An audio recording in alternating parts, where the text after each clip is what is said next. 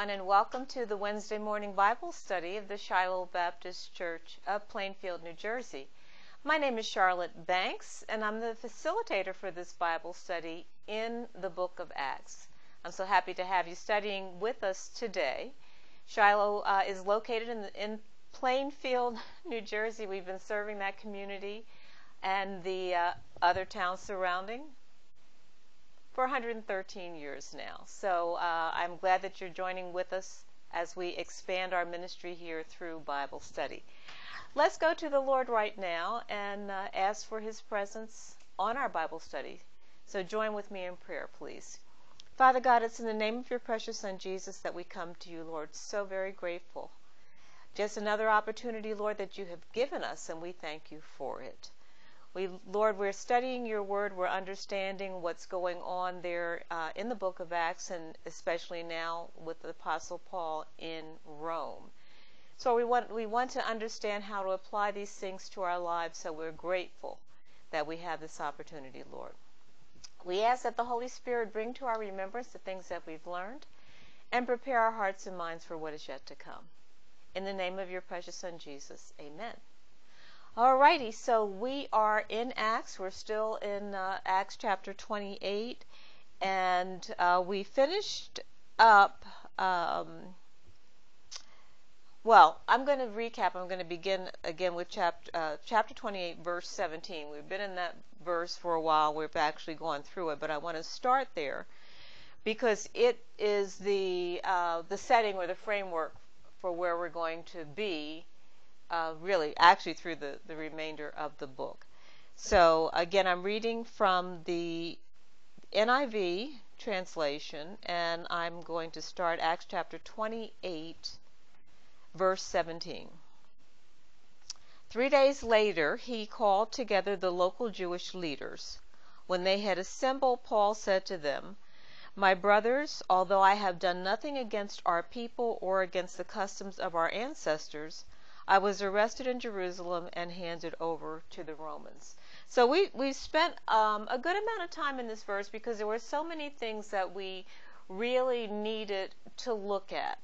Uh, we wanted we went back and looked at the uh, prior scriptures, starting actually with um, chapter 21 and Paul's arrival in Jerusalem because what he said to the Roman Jews was a little different. The order in which he, he was eh, describing things to them was different than what they occurred. And so we wanted to go back and look at what had actually occurred so that we could understand maybe why was it that Paul was giving these Jews in Rome this summary of, of events that was um, just different than from what we knew had occurred.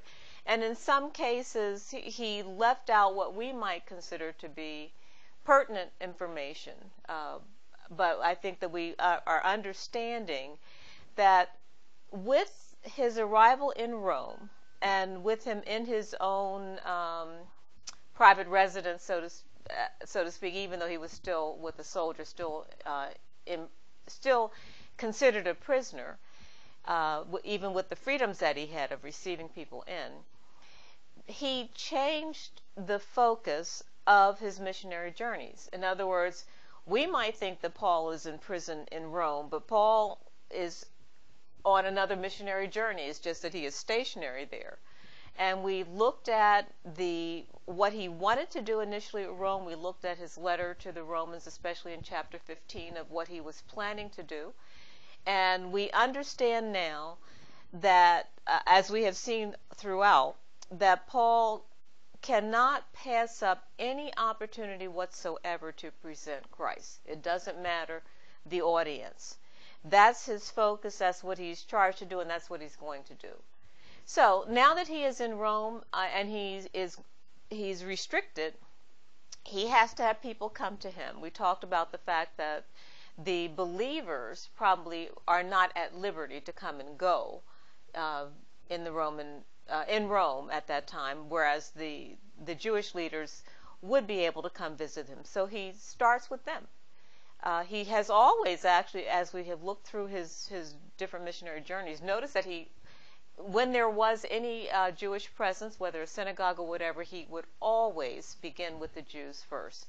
He accepted the his, his assignment as a, the apostle to the Gentiles. He accepted and embraced that, but he never would stop uh, working with Jews. I think he just he couldn't help himself. It was just part of of who he was, and uh, in a sense, maybe part of what he really wanted to do. Uh, I think that he felt so strongly how he was converted, uh, and that other Jews needed to be converted as well. And if he could help in that, he was going to do it. So we found ourselves here, and then we were looking at verse 18. So this is Romans 28, verse 18. He says, They examined me and wanted to release me because I was not guilty of any crime deserving death. And we talked about that at length, and you know, explaining that if there, if someone was going to be in prison or or having being executed or whatever, only the Romans could do that.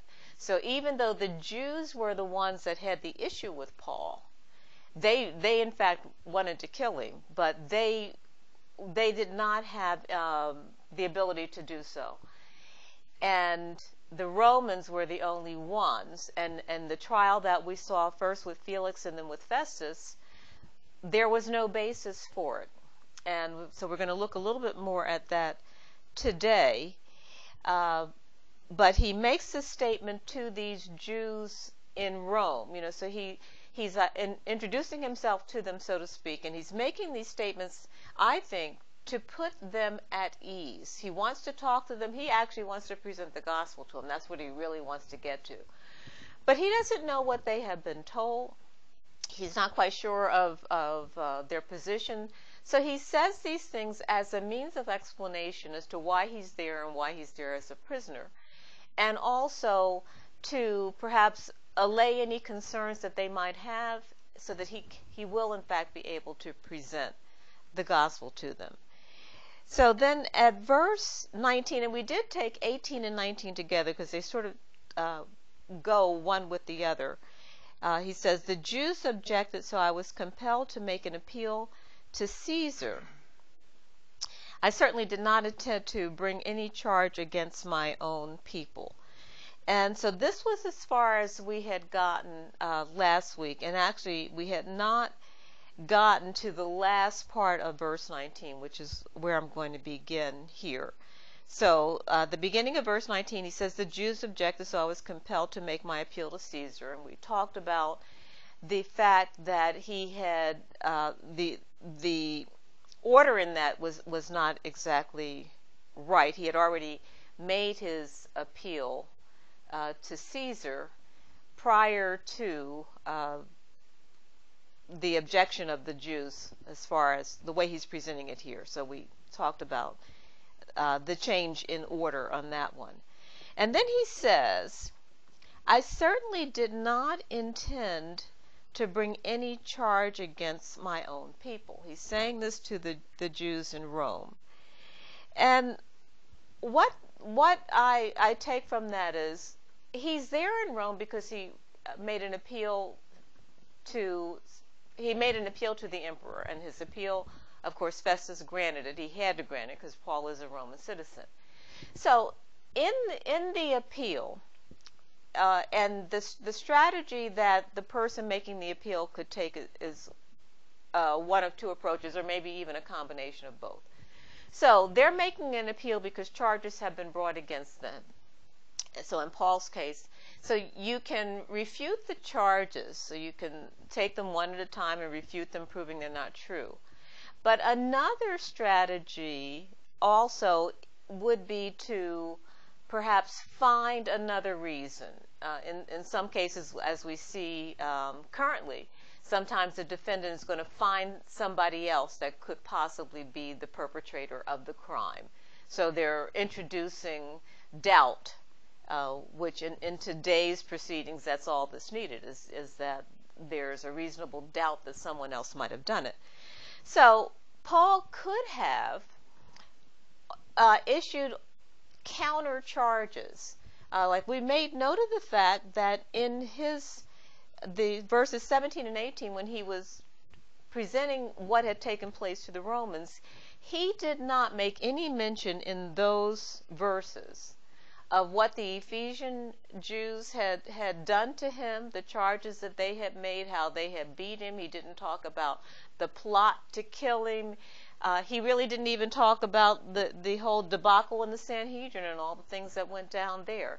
So he he did not make any charges against the Jews or in any of those instances. And he is saying here in verse 19 to the, the Jews at Rome, to the Jews at Rome, excuse me, that he not only did he not make any, but he never intended to bring any charge against his own people.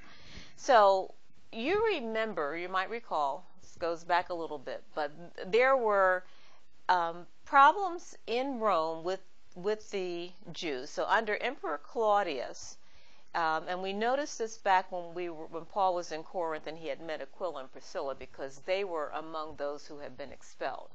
So Emperor Claudius had expelled the Jews from Rome because there were so many problems uh, with them, and they all really surrounded the the misunderstanding of who Jesus Christ was and what the this new sect, as they called it, or the way, the believers, what it was that they were doing. So there was so much of a problem that Emperor Claudius just expelled them all. They all had all the Jews had to leave Rome. So after Claudius died, uh, Nero did not seem to keep that into effect because they they came back. But it's not been that long that they have been back in Rome. So the thought that this person, Paul, might come to Rome in his appeal to Caesar and somehow uh, implicate or or present charges against other Jews might cause a little bit of unrest, and so he wanted to, them to know, I'm not here to make any trouble against anybody. In fact, I never wanted to make any claims or charges against any Jews because I am a Jew. That was his whole thing, and you recall, presenting himself as an authentic Jew. So he makes that statement to them there, and I think it really was another way of him trying to to put them at ease. You know, they might be, uh, you know, he obviously asked for them to come, and so they initially may have wondered why he wanted them, may have already started to become defensive. I don't know, but he wanted. He's saying these things to them, explaining why he's there in Rome, why he's he is there in Rome as a prisoner, and why he wants to see them, and what has happened from his perspective in case, because uh, he doesn't know what they may have heard. Okay, now we get then to uh, to verse 20, and he says, "For this reason, I have asked to see you and talk with you. It is because of the hope of Israel that I am bound with this chain." All right, so here in, in verse 20, Paul finally gets around to stating his reason for wanting to see them, for, for calling them. And what we see here actually in verse 20 is what I am describing as the beginning of his evangelistic efforts there at Rome, beginning right there in verse 20. And he he says here that he uses the terminology that it is because of the hope of Israel that I am bound with this chain. Now, that is new terminology for us. We have not seen that terminology, hope of Israel, throughout, uh, from the time that he arrived back in Jerusalem, back in Acts chapter 21, till now. This is the first time this is coming up. And actually, what, what that um, got me to thinking about was why he says that. Because if you recall, that statement, uh, which deals with the Messiah, we're going to get into that in a minute, but it really is not related to why he was in custody. So you remember that he was in custody initially because of the accusation of the Ephesian Jews. Now I'm going to go back for a, a couple different scriptures at different places, uh, and you can turn with me if you like. Uh, we um, probably won't be able to display them, but uh, you know I'll just read them, just as a further reminder of what it is that took place. So back in in Acts 21, like back where it all began. In verse 28, this is the beginning. These are the actual accusations that started everything off. So these are the uh, Ephesian Jews that are find Paul or see Paul in the temple. He says, so the verse starts uh, shouting. These are the Ephesian Jews that were shouting. Fellow Israelites, and I just have to say, I can't pass this out without saying, they're asking, they're saying, fellow Israelites, help us. There's one man, Paul. Eh, I don't even know how many of them there were. What do they need help for? Okay, reining myself back in. Fellow Israelites, help us. This is the man who teaches everyone everywhere against our people. That's the first accusation.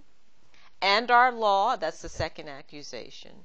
And this place. That's the third. So those are the three accusations that they made. And then they add a fourth. They say, and besides, he has brought Greeks into the temple and defiled this holy place.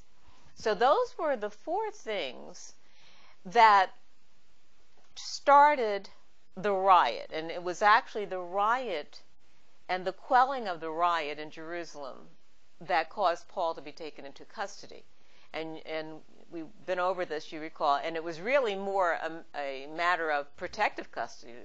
The commander came and, and basically rescued Paul from the Ephesian Jews and the mob that were beating him, trying to kill him.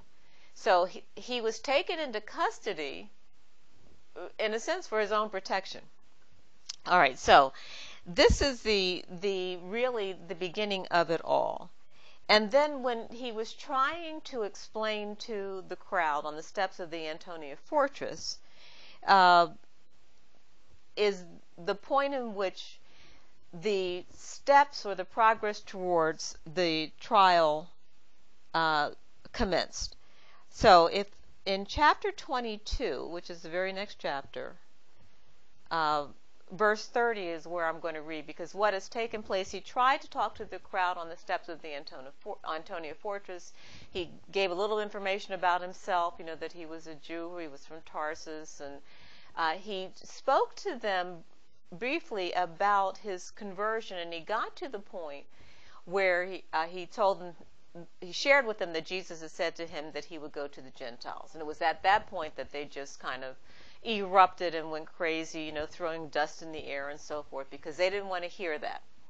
So they got stuck at that point, and so the commander took him back into the prison and was about to scourge him. You recall all this when the commander found out that Paul was a Roman citizen. So throughout all, of this, the commander then is still confused and, and not understanding why in the world a riot occurred from this little bits and pieces that I can put together. So in verse 30, this is Acts chapter 22, verse 30. The commander wanted to find out exactly why Paul was being accused by the Jews. Those are the accusations I just mentioned. So the next day he released him and ordered the chief priests and all the members of the Sanhedrin to assemble. Then he brought Paul before him then he brought Paul and had him stand before them. And so the Sanhedrin is the it was a Jewish inquiry. We really can't call it a, a trial because they um, they could they would re, in their Sanhedrin they could have disputes about local Jewish laws and procedures and so forth, and they would settle them but they could never uh, uh, have anyone imprisoned or never sentence anyone to death or whatever because that was a capital crime and that was beyond what they could do. Only the Romans could do that. So the commander figured he could send him to the Sanhedrin and at least find out what everything was all about. And that that was not going to happen. So in chapter 23, verse 6, Paul says, Then Paul, knowing that some of them were Sadducees, so, so this was a situation instigated by Paul. Uh, he knew pretty much what was going to happen when he said what he's about to say. All right, so then Paul, knowing that some of them were Sadducees and the others Pharisees, called out in the Sanhedrin, My brothers, I am a Pharisee, descended from Pharisees. I stand on trial because of the hope of the resurrection of the dead. All right, so now in chapter 28, verse 20, he says, the hope of Israel. Here in chapter 23, this is the first that we're hearing anything of any hope in anything. All right, so in Acts chapter 23, verse 6, in the Sanhedrin, Paul says that I'm on trial because of the hope of the resurrection of the dead. So it was at that point that that was like brand new information. That was nowhere in any of the accusations that the Ephesian Jews made or anything. This was like brand new. But he said that at that point knowing it was going to divide the Sadducees and the Pharisees, and probably had some idea that it was going to escalate into violence. Uh, he had been he was a, he had been a Pharisee. He was no longer a practicing Pharisee, but he that was part of his history.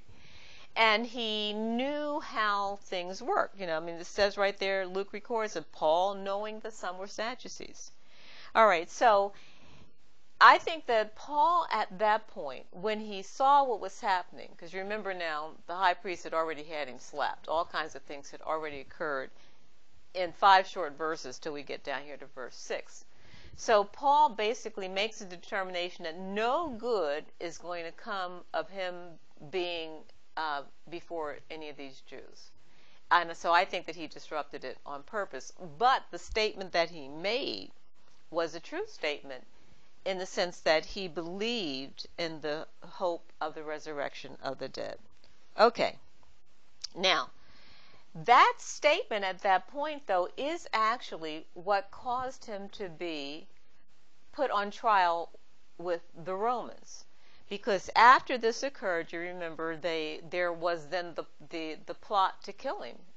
The commander got wind of the plot and basically had Paul shipped out up to Caesarea and said, okay, Felix, this is your issue. This is all I know what has gone on.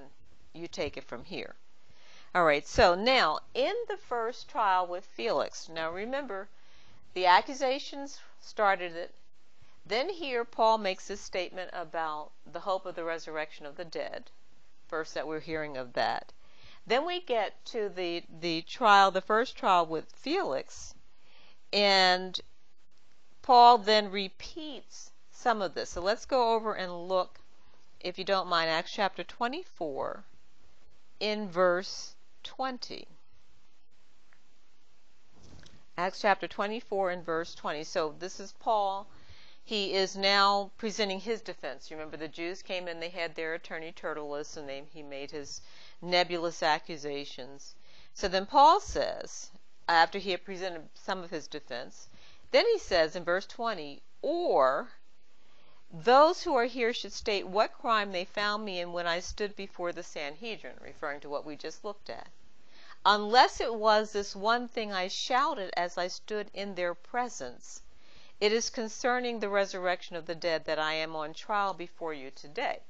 So here on this trial with Felix, Paul is restating uh, what he said in the Sanhedrin that was causing it all. He's restating this hope of the resurrection.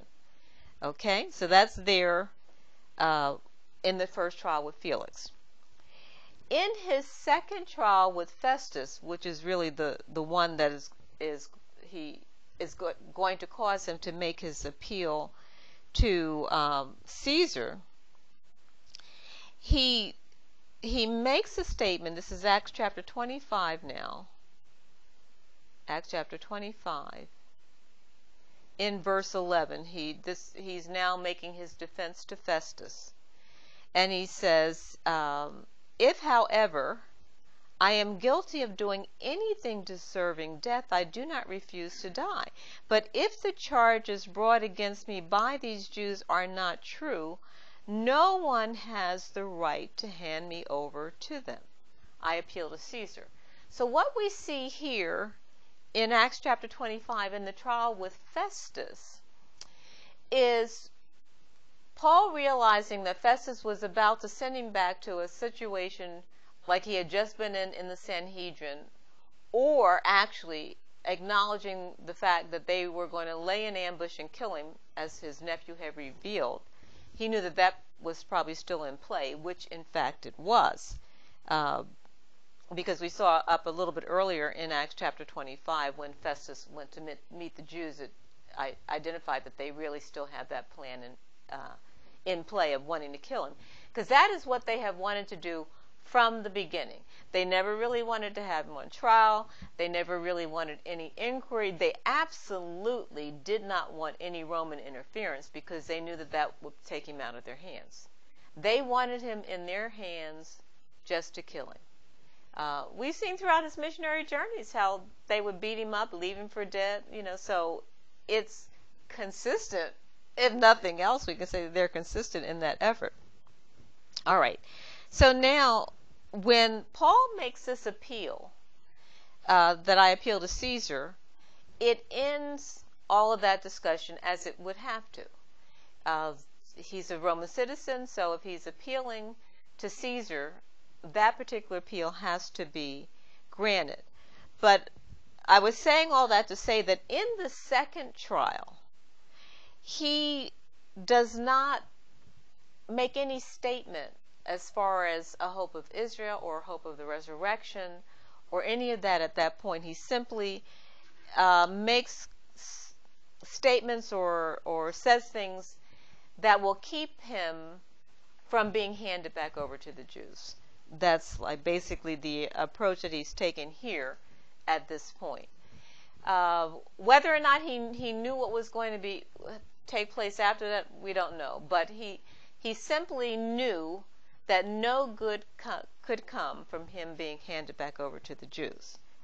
Now, he we get to see a little more information come out when Festus invites King Agrippa into um, the mix. And you, I mean, you recall, this is because Festus knew that he was going to have to uh, send some type of documentation with Paul to for the emperor to look at. So he uh, says, "Hey, uh, King Agrippa, you you being uh, very knowledgeable of all of this, since King Agrippa was in fact a Jew, you recall the great grandson of Herod.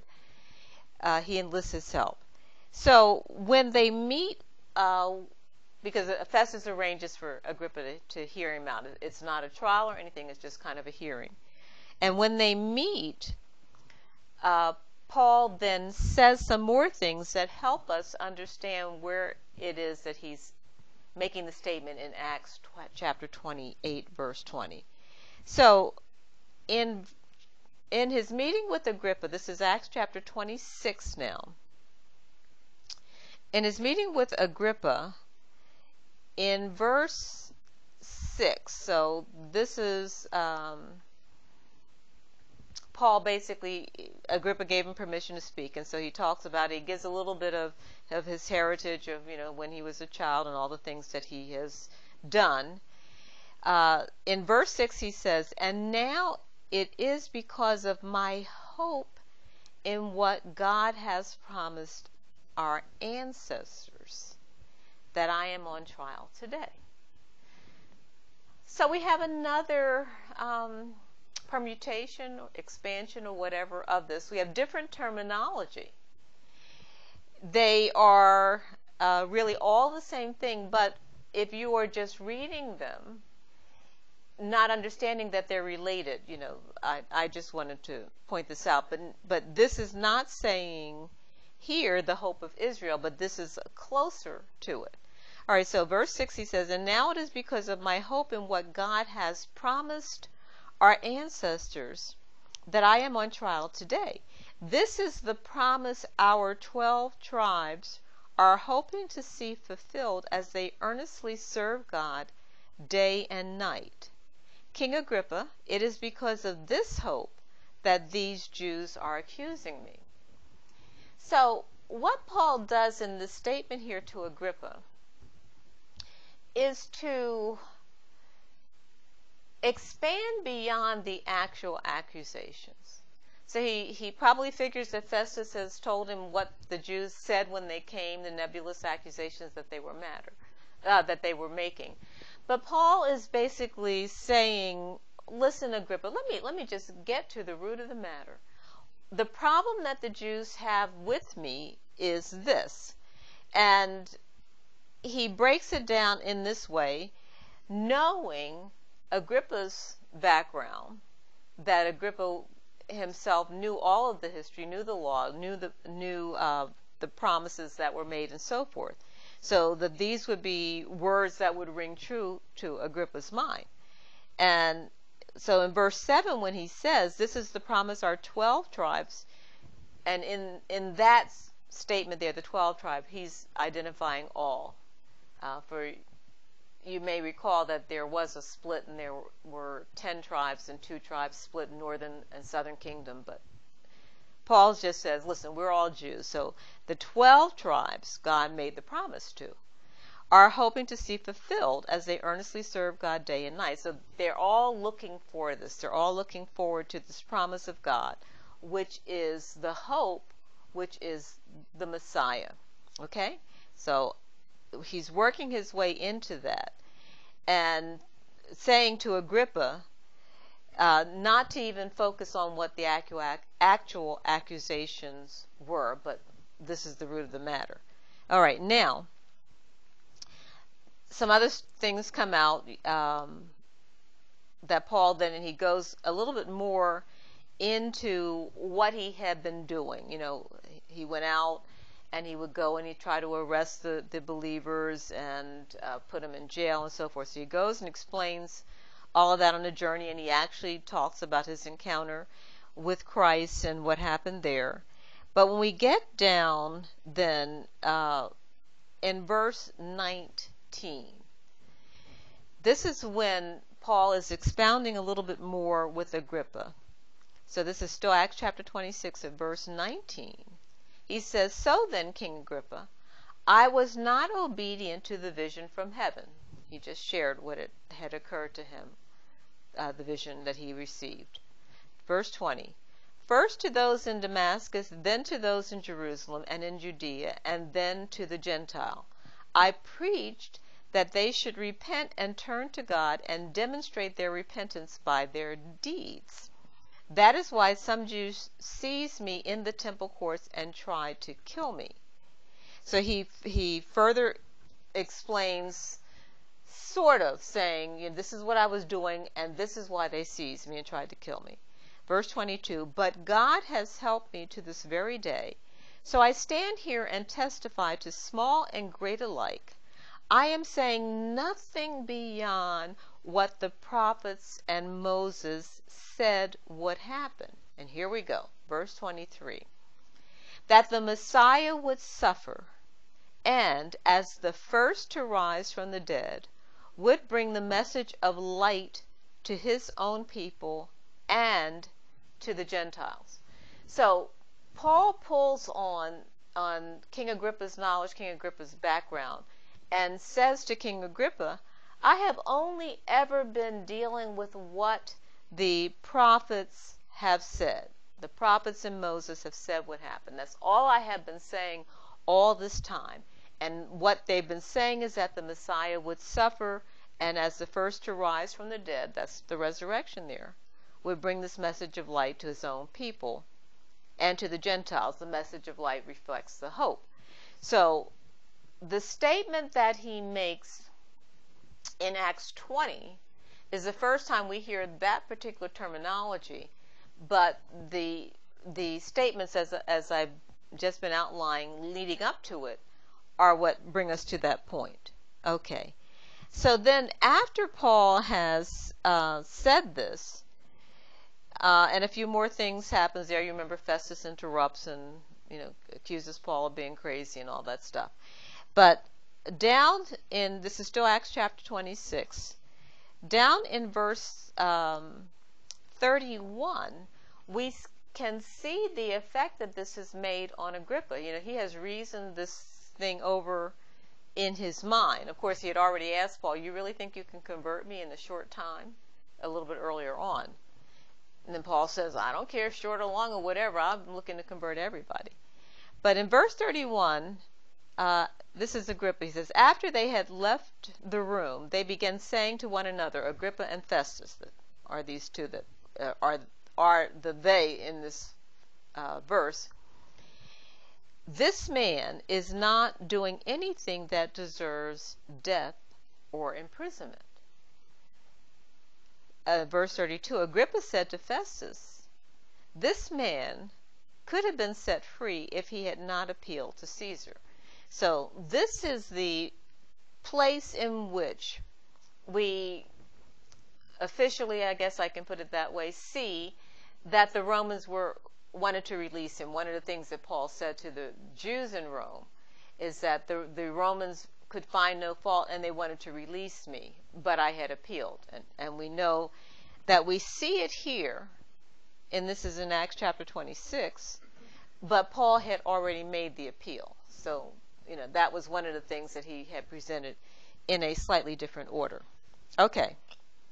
So, King Agrippa had um, had made the agreement. Well, not made the agreement. Agreed with Festus that there was really no reason that Paul was in prison.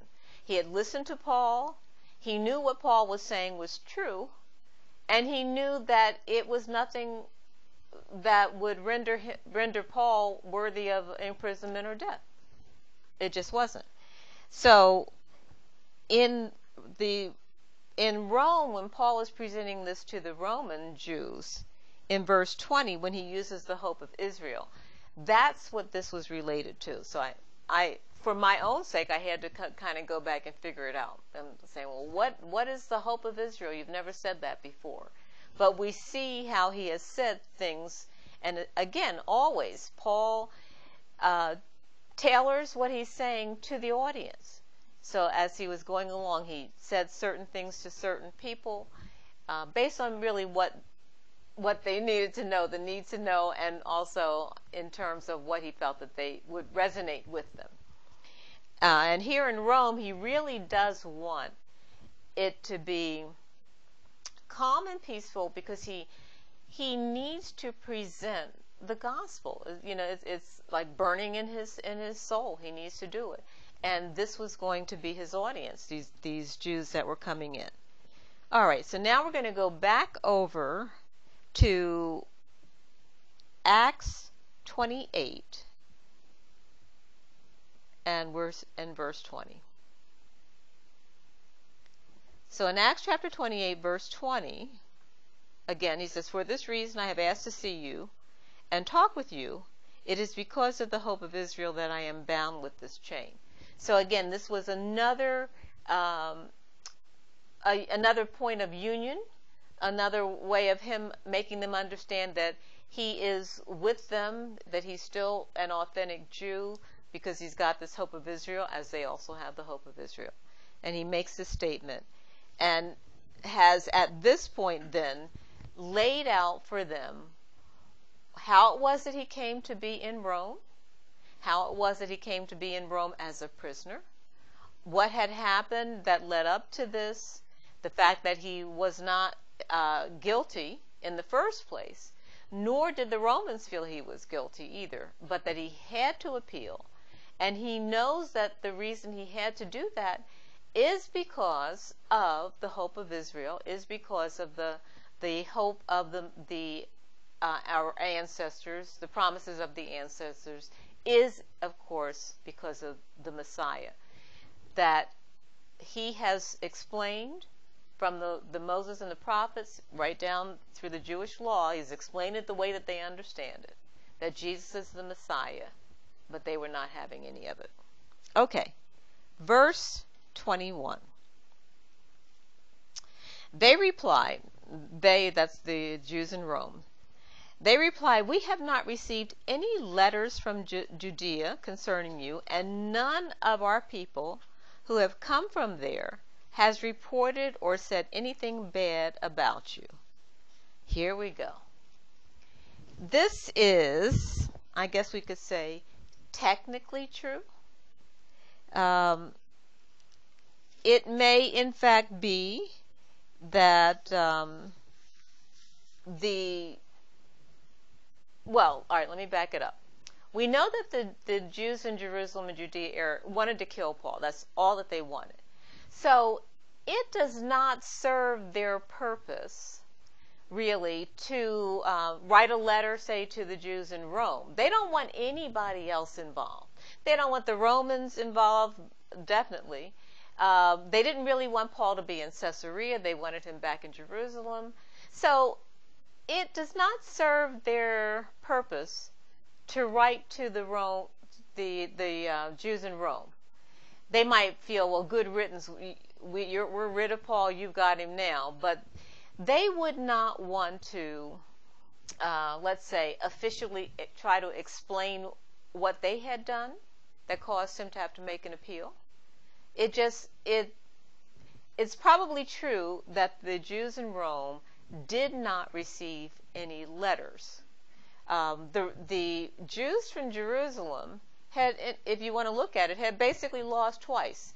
They lost first in the sense that Felix did not make a decision, so his not deciding, in a sense, was a loss for them. And they certainly lost the second time with Festus, because not only did Festus agree that Paul was innocent, but then Paul had already made the appeal, so he was going to be sent to Rome. And I, there's no doubt in my mind that the Jews in Jerusalem heard of Festus's and Agrippa's decision, or even just whether it was a discussion or not. But they would know that the those Romans, Festus uh, and the, the all of those in the governor's area, those who had the capability of sending Paul up to his appeal, who were going to displace him or or send some information, I should say, with Paul. They had already decided Paul was innocent. So the it's unlikely that the Jews in Jerusalem or the Sanhedrin or whatever would have in fact sent a letter ahead. So we can say that that's probably true what they're saying here in Rome, that they've not received any letters concerning him. Then they say something else, um, which I find kind of interesting in the wording. None of our people who have come from there has reported or said anything bad about you. So, this says that they may have, have had other leaders of, of their group who had, say, traveled to Jerusalem. And when they came back, they did not say anything about what had occurred or um, or nothing bad, as, as they point, as Luke records here in the scripture. But this one we have to really wonder about because it has been quite a bit of time. We know that the very first trial with Felix, Paul was in hell there for two years before Festus even came on. Uh, and it's not clear how long it was after Festus said that uh, he was going to grant the appeal. We don't know how long it took for everything to be arranged for Paul to be transported up to Rome. So the the the idea that no word had come, whether it only be say um, a rumor flying, eh, a little suspect.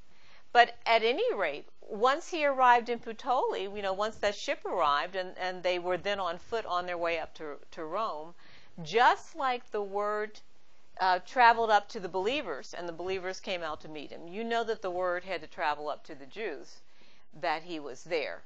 Because Paul, everybody knew about Paul. He was he was like uh, one of the main apostles, and certainly the apostle that had traveled in more of their area, whether it be in the Gentile territory or now here in Rome, uh, than anyone else. So it's a little hard to believe that they're speaking the whole truth. But anyway, that's what they said here. Then verse 22. But we want to hear what your views are. And listen to this. For we know that people everywhere are talking against this sect.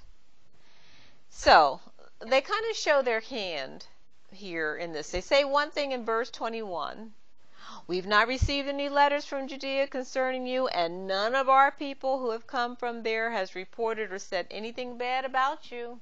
Paul, no, we don't know anything. What you're telling us is the first we're hearing about any of this stuff. Then we get to verse 22. But we want to hear what your views are. So, what does that say right there? That says that somebody else has a view, and they probably already heard what the other views are. We want to hear what your views are, for we know that people everywhere are talking against this sect. All right, so that posed a question in my mind. I had to go back and reread what Paul said. Because Paul never said anything about the sect, he never said anything about believers. Let, let's just look at that again. Starting here, verse 17. In the middle, my brothers, although I have done nothing against our people or against the customs of our ancestors, I was arrested in Jerusalem and handed over to the Romans. Verse 18. They examined me and wanted to release me because I was not guilty of any crime deserving death. Verse 19. The Jews objected, so I was compelled to make an appeal to Caesar. I certainly did not intend to bring any charge against my own people. Verse 20 For this reason I have asked to see you and talk with you. It is because of the hope that Israel that I am bound with this chain. Nowhere in any of that does Paul say anything about believers or as the Romans are calling it, the sect, the way? Nowhere. He doesn't bring it up. He says nothing. But in verse 22, the Romans say, We know that people everywhere are talking against this sect. So they clearly have um, information I don't want to call it an agenda, although it may very well be an agenda. But they they clearly are predisposed to something. They're predisposed to wanting to talk to him about these believers, where that is not anything that Paul has said. Uh, so they want to hear what he has to say, or so they say they want to hear what he has to say. But remember, he, he asked for them to come. So he kind of um, set up the meeting, as summoned them or asked for them to come. They're there. So they probably are curious as to why it is that he asked for them to come. And it's like, oh, and by the way, we've been hearing all this stuff about these believers. These believers who, uh, for those who have been in Rome before they were expelled, know were they was somehow involved in causing them to be expelled although actually they caused themselves to be expelled, but it was because of um, the believers and what the believers were sharing as far as who Jesus Christ was. So in verse 22, we see, uh, I, I, guess I should call it maybe, we see this little interesting, um, they insert this little piece of information, which is going to play a part. Uh, we'll see that coming up uh, in in just a, a next couple verses. It's going to play a part in their receptivity, or I should say, maybe in some cases, lack thereof, of that. Okay, so we then at this point in verse 23, and I'm actually I'm actually going to stop here and not go into it, but in in verse 23 we uh, it, he says they arranged to meet Paul on a certain day and came in even larger numbers to the place where he was saying. So it's like this very first meeting that Paul called for. This much was discussed. Uh, we don't know how long it took. It probably took a, a, little while because there may have been, in Paul making his, his presentation, he may have taken his time. You know, Luke records sort of an outline. It appears to be, on the surface, maybe everything that was said, but I'm sure there was more. And then they, they make this, and probably there was some decision made uh, somewhere in there between 22 and 23 that what they want to hear as far as his views could not be presented in that amount of time. Or now that they know he's willing to share some of his views, uh, they need to be sure that they have the time allotted to do it. Uh, and maybe there are some other people that they feel need to be there when they hear this. And in the case of Paul, when he, he told them that in verse 20 that, that this was the reason he had asked to see them and talk with them, we know that Paul can go into detail, and with the Jewish audience, he has basically given them some information to try to, I think, maybe soften them up, or to try to make sure that, or, or hopefully, that they were not predisposed one way or the other, to feel them out, to get a determination of what have they heard? Did anything get sent here? Uh, what's going on? To to feel that. And i think he got his answer to that that while maybe nothing officially was sent there may not have been any letters but there certainly has been some talk.